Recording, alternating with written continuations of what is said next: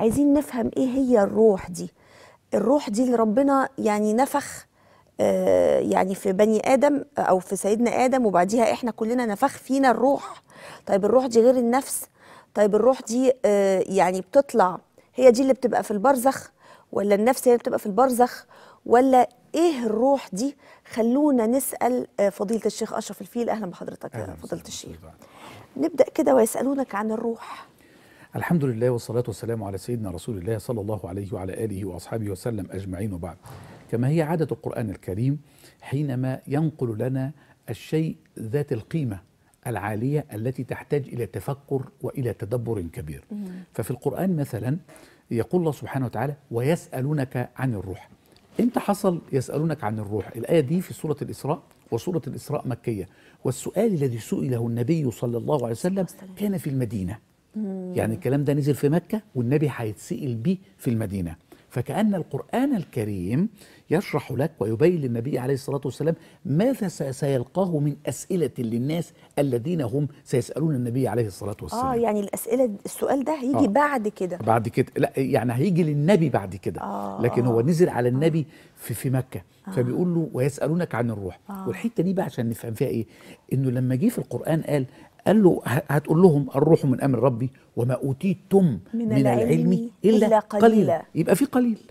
يبقى إحنا عندنا قليل. عندنا علم موجود قليل. فالعلم القليل ده هيتولد إمتى بقى؟ هيتولد في الفترة اللي من أول ما تنزل على النبي الآية لغاية لما يهاجر إلى المدينة. في مسافة بقى ممكن تاخد سنتين أو ثلاثة أو أربعة. في المرحلة دي يبدأ يتشكل الفكر عند المسلمين بحيث إن لما يجي يتعرض السؤال مباشر على النبي عليه الصلاة والسلام ما يبقاش الموضوع في نوع من أنواع المفاجأة. ولا عنصر المفاجأة موجود. ولا يشكك المسلمين في دينهم ولا في ربهم ولا في نبيهم. فيقول له بقى ويسألونك واللي هيسألوا النبي هم الجماعة اليهود اللي هو لما يروح لهم المدينة لأن المدينة كان يسكنها اليهود. يسألونك عن الروح عن هنا اللي سالوه هم اليهود في المدينة. اليهود اللي هيسألوا النبي عليه الصلاة آه والسلام. آه. فسألوه عن الروح. آه. يسألونك عن الروح عن ماهية الروح آه. حقيقتها. قل إيه الروح, الروح ده؟ من أمر رب آه فهيجاوب النبي يقول لهم الروح من أمر ربي وما أوتيتم من العلم إلا قليلا قالوا الله طب ما إحنا أوتينا التوراة ومن أوتي التوراة فقد أوتي خيرا كثيرا. قال لهم طيب ماشي أوكي. وما برضو خيرا كثيرا ماشي. لكن هنا بقى الروح دي كل العلم اللي عندكم في مقابل علم الله هو علم قليل. فالروح دي بقى تعرفوا تقولي له تقولوا لي أنتم إيه خصائصها؟ بتعمل إيه؟ موقفها إيه؟ الدنيا فيها إيه؟ وما أوتيتم من العلم إلا قليلا. هنا توقف الباحثون قديما في مسألة الروح. واعتبروا أن الروح هي النفس. وفضلوا ماشيين على كده فترة من الزمان مئات السنين. لغاية لما جه العلماء بقى في في في عصور آه بعدها بمئات السنين بدأ العلماء يبحثون في مسألة التكوين الذاتي لل- للذات البشرية. فاتضح في القرآن الكريم إن الذات البشرية مش مركبة من روح بس. ولا من نفس بس ده متركبة من ست عناصر. خمسة معلومة القرآن اتكلم عنها. الروح قال يسألونك عن الروح قل الروح من أمر ربي. آه آه كمان سمى سيدنا جبريل روح كمان آه. سمى القرآن روح. قال نزل به الروح الأمين.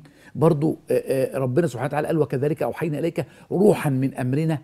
فالمسألة بقت لا ده عايزة تفكير بقى. وقول فإذا سويته ونفخت فيه من روحي اللي هو على البني آدم اللي هو إحنا. فأصبحت المسألة تحتاج إلى تفكير. فصار العلماء يفكرون إذا مسألة الروح هي مسألة منفصلة تختلف تماما. ولذلك القرآن لما اتكلم ما قالش ويسألونك عن النفس. قالوا يسألونك عن الروح. يبقى الروح دي شق منفصل.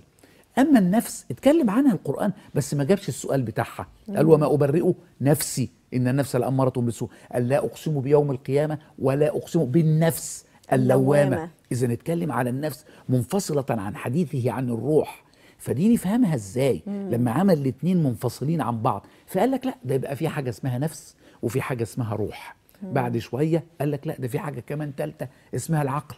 قال أفلا يعقلون أفلا تعقلون وما يعقلها إلا العالمون. لا ده في حاجة اسمها العقل.